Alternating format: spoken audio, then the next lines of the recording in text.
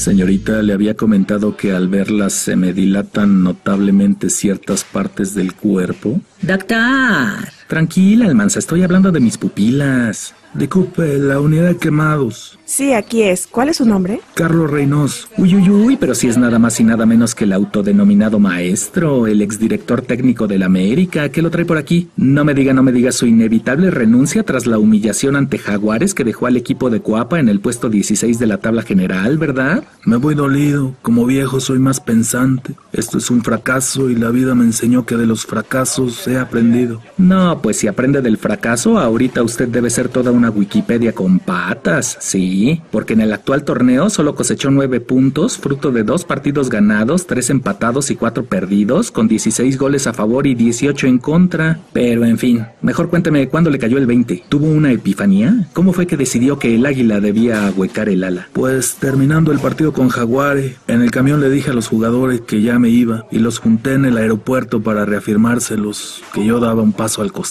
Órale, lo que viene siendo un momento Remy, ¿no? Este... Y tengo ahí cartas ahí de los muchachos pidiéndome que no me fuera, que no dejara el barco solo, que siguiéramos en el mismo tren. Todos, todos, todos me pidieron que me quedara. Ay, cálmese. ¿Todos? Nah. Se me hace que los únicos que le rogaron que se quedara fueron el Matías Buoso, o el Rolfi Montenegro, o ya sé, el Adolfo Rocinei, o el Armando Navarrete, o el Topo Valenzuela, o el Jesús Molina, o no me diga, el Paul Aguilar o el Cristian Benítez. Ya sabe, los mismos que al igual que usted no han dado los resultados esperados, con la diferencia de que ellos siguen en la etapa de negación, mientras que usted ya transitó hasta la de aceptación, pasando por las de ira, negociación y depresión, ¿verdad? No, no, como dije a Mitchell. A Bauer, espéreme, espéreme, si aquí está. ¿Eh? Y a Jaime. Ordiales, también, mire.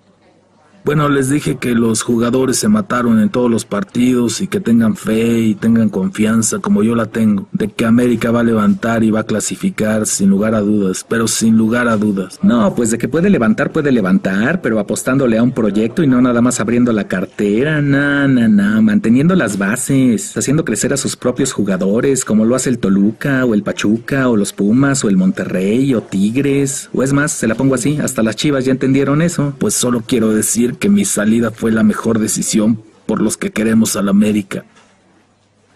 Y me da gusto que Alfredo Tena llegue a la América.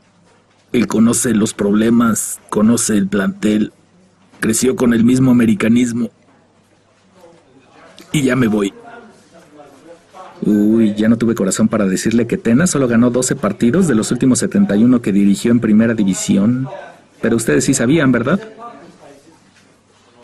Nicasio, ¿cuál va a poner hoy en el videoclub? La de Conan el Bárbaro. Uy, la de Arnold. ¿A poco ya arregló su videocasetera beta? No, el doctor, la nueva. Uy, ya me había emocionado. ¿Y qué tal está o qué? Pues digamos que empieza mal y va de bajada. No manche. Sí, el doctor, como que Conan es una de esas películas que consentimos y apapachamos en su tiempo, pero que no merecían remake. Los diálogos son sonsos, las actuaciones más onzas y se sacan de la manga ondas super violentas, pero también super mafufas. ¿De plano? Sí, el doctor, con decirle que al inicio, mamá el bárbaro y papá el bárbaro pelean contra sus enemigos mientras mamá el bárbaro está en labor de parto. Así es que como para acelerar las cosas, papá el bárbaro le hace a mamá el bárbaro una cesárea express de un solo espadazo. Ya sabe, puras cosas inverosímiles. Y lo peor es que es una tras otra. Pues ni tan inverosímil, ¿eh? Si esa cesárea se le hizo salvaje, es que no me vio en mi primer año de práctica en el Seguro Social.